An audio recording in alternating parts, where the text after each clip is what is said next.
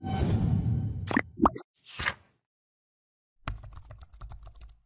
friends, in this quick tutorial I'm going to show you how to add animated text in Elementor.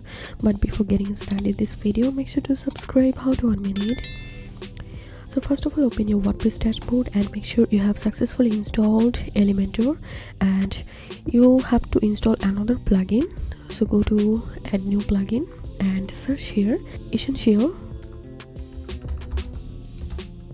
Elementor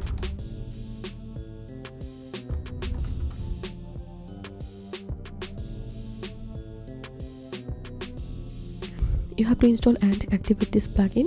And after that i'm going to my page editor with elementor so now i'm going to add a add a new widget.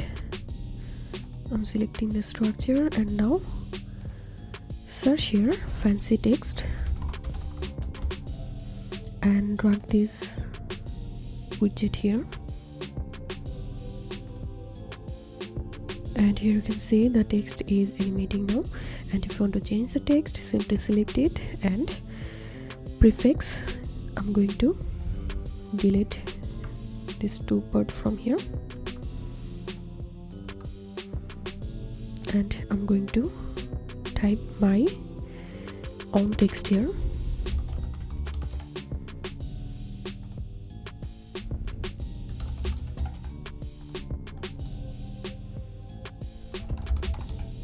and if you want to add another item click on add item. And you can add your new item here.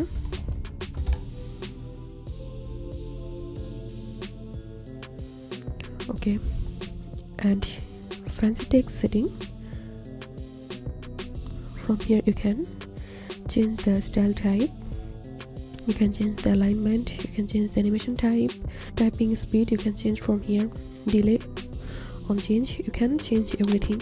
So once you're happy with your editing simply click on update. So that's it for now. If you find this video helpful make sure to subscribe. How To 1 Minute thanks for watching this video